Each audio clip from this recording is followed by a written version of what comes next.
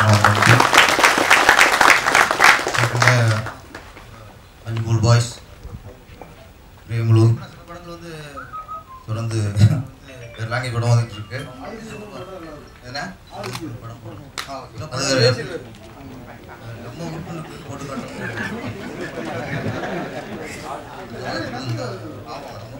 நல்ல அதிகம் லைஃப்லாம் கற்றுட்டே இருப்போம் நம்ம.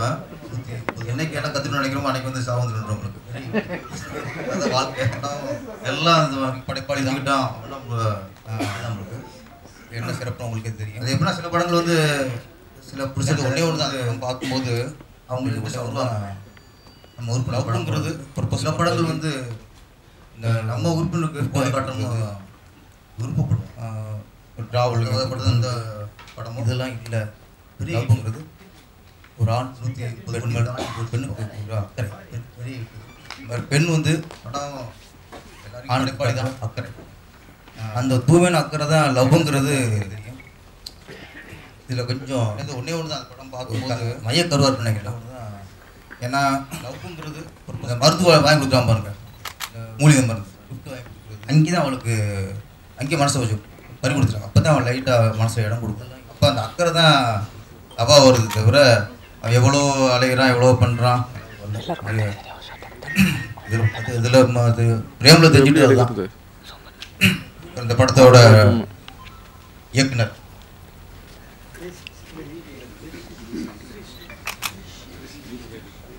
கிரிஸ் ஏடி இப்போ உள்ள ஜென்ரேஷனுக்கு ச சரியான படம். ரொம்ப தேர்ட் ட்விஸ்ட்லாம் வச்சுட்டு முன்னாடி ஒன்று இருந்துச்சு.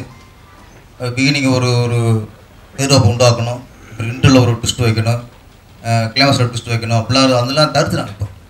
கேஷுவலாக ஒரு லைவாக தான் இன்னைக்கு ஒரு திரைக்கதையோட மகிமைன்னு இந்த கிறிஸ்து ஏடிங் நம்மளுக்கு கற்றுக் கொடுத்துருக்காரு. இந்த படத்துக்கு திரையிட ஏற்பாடு செஞ்சவர் ஹென்றி அவருக்கு நன்றியை தெரிவிச்சுக்கிறோம். தயாரிப்பு பவனா ஸ்டுடியோஸ். வாழ்த்துக்கள். இன்னைக்கு ஒரு நூற்றி முப்பது நூற்றி ஐம்பது கோடி தாண்டி நினைக்கிறேன். நூற்றி முப்பது தாண்டி வச்சு ஒரு நூற்றி ஐம்பது தாண்டிடும். வாழ்த்துக்கள். இன்னும் பல கோடி இன்னும் சம்பாதிக்கணும் திரையிடலுக்கு ஒப்புதல் அளித்து தயார் பண்ண ஒருவரான பென்னி கட்டப்பனா அவள் அவருக்கும் நன்றி. ஓகே. தொடர்ந்து இந்த மாதிரி படங்களை நல்ல படங்களை நம்ம பிடிச்சி போட்டுருவோம். நன்றி வணக்கம். நம்ம டேரக்டருக்கு அவர் காலையில் பேசினாரு நம்ம அசோசியேஷனுடைய வந்து மெம்பர்ஸுக்கெல்லாம் என்னுடைய விஷயத்தை சொல்லுங்கன்னு அவர். ரொம்ப சந்தோஷப்பட்டார். இந்த படம் வந்து நம்ம தமிழ்நாடு இருக்கிறதுக்கு சங்கத்தில் படம் ரொம்ப சந்தோஷப்பட்டார். அப்புறம் என்னென்னா ஃபஸ்ட்டு ரெண்டு படம் பண்ணியிருக்காரு அவர். அதுவும் சின்ன பட்ஜெட்டு சூப்பர் சரண்யான்னு ஒரு படம் சூப்பர் ஹிட்டு அப்புறம் தண்ணீர் மத்தம் தினங்கள்னு ஒரு படம். அதுவும் சூப்பர் ஹிட்டு மூணாவது ஒரு பெரிய கம்பெனி ஒரு படம் வாய்ப்பு வந்துட்டு கூட அவர் ஒத்துக்காம பெரிய ஹீரோ ஒத்துக்காம இந்த ஸ்கிரிப்ட் ஆல்ரெடி வந்து முதல்ல பண்ண ஸ்கிரிப்ட் அது. இந்த படம் நிச்சயம் ஜெயிக்கும் அப்படின்னு பண்ணியிருக்காரு அது அது வந்து சக்ஸஸ் அடைஞ்சிட்டாரு. அது அவர் சொன்னார் என்னன்னா நான் இந்த அளவுக்கு ஒரு வந்து ஒரு வெற்றி எதிர்பார்க்கல. தமிழ்நாட்டு ஆடியன்ஸ் வந்து அவ்வளோ வந்து வந்து மலையாளத்தில் ரசித்தாங்க தமிழையும் ரசித்தாங்க ஆந்திராலையும் நல்லா ஓடுது படம். இப்போ பெங்களூர்லேயும் சூப்பர் கலெக்ஷனு நேற்று வந்து கிட்டத்தட்ட ஒரு தமிழ்நாட்டில் நாற்பது தேட்டரில் ஃபுல் இந்த படம். நேற்று சண்டே ரொம்ப ஹாப்பி ஆனார். சார் ஒன்றே ஒன்று ஒரு லட்சம் தடவை வந்துச்சு இந்த மாதிரி கதை. ஒரு லட்சம் தடவை பார்த்துட்டோம். ஆனால் ஸ்க்ரீன் பிளே வேற வேற ஸ்க்ரீன் பிளே வேற வேற திரைக்கதை. புது புது சீன்ஸ் இதுதான் இந்த மாதிரி படங்களை வாழ வைக்கிது. நம்மளுக்கும் அந்த தைரியம் மனப்பக்குவம் வரட்டும். நம்மளும் வெற்றியை கொடுப்போம். ஆல் தி பெஸ்ட் பிரேமல பட குழுவினர் சார்பாகவும் நம்ம தமிழ்நாடு திரைப்பட இயக்குநர்கள் சங்க சார்பாகவும் வித்யாசாகர் அவர்களுக்கு செயலாளர் பேரரசு அவர்கள் பொன்னாடை பொறுத்துவார்கள் நீங்கள் மலையாளத்தில் எந்த படம் கிட்டானாலும் அதை கொண்டா போகிற பொறுப்பு அவர் பொறுப்பு.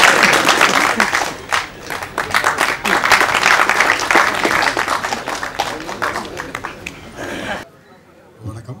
தமிழ்நாடு திரைப்பட இயக்குநர் சங்கமான நமது சங்கத்தின் சார்பாக திரையிடப்பட்ட இந்த பிரேமலுங்கிற திரைப்படத்தை வந்து நம்ம குழுவில் உள்ள நம்ம சங்கத்தில் உள்ள அனைத்து உறுப்பினர்களும் பார்த்து ரொம்ப சந்தோஷப்பட்டோம். படம் மிகப்பெரிய ஒரு இளமையான திருவிழாவாக இருந்துச்சு. இந்த யூத் கார்னிவல் அப்படின்னு சொல்லுவாங்க அப்படியான ஒரு தி பெஸ்ட் மூவி அப்படின்ற மாதிரி இருந்துச்சு.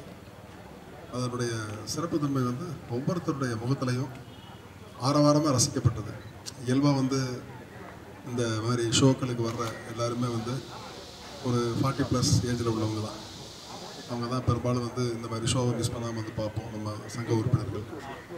அவங்க அவரோட ஒவ்வொருத்தருடைய முகத்திலையும் நம்ம சங்க உறுப்பினர்கள் ஒவ்வொருத்தருடைய முகத்திலையும் அந்த அவங்களோட இளமை காலத்தில் உள்ள அந்த ஹாப்பினஸ் ஃபீலை அப்படியே வந்து இந்த படம் வந்து திரும்ப வந்து கொடுத்தது தான் அந்த படத்தோட மிகப்பெரிய வெற்றி.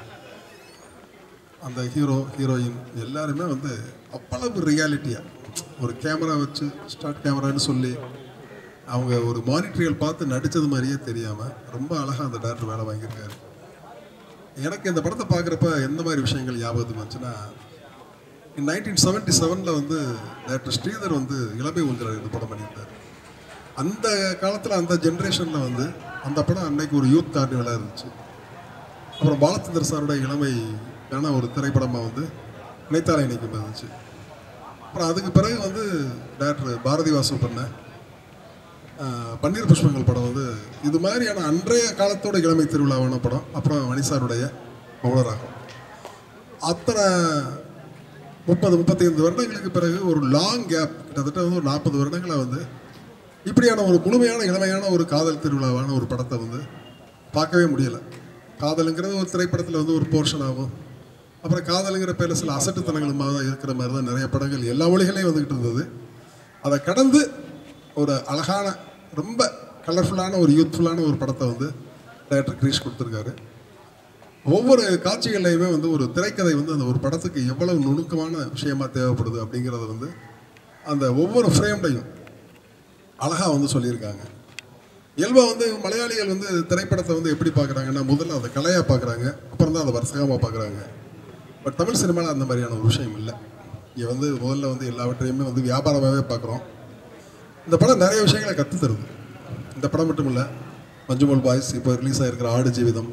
இந்த மாதிரி படங்கள்லாம் வந்து என்னென்னா பார்க்குறப்ப ஒரு ரொம்ப நெருக்கமான ஒரு புத்தகத்தை படித்த மாதிரி ரொம்ப ஒரு இது மாதிரியான திரைப்படங்கள் வந்து நாம் வந்து எடுக்கணும்னு நினைப்போம். ஆனால் இங்கே இருக்கிற சூழல் இங்கே இருக்கிற நாயகர்களுடைய செட்டப்பு அதெல்லாம் வந்து நம்மளை வந்து இப்படியான ஒரு படத்தெல்லாம் எடுக்க வந்து பெர்மிட் பண்ணுறதே இல்லை.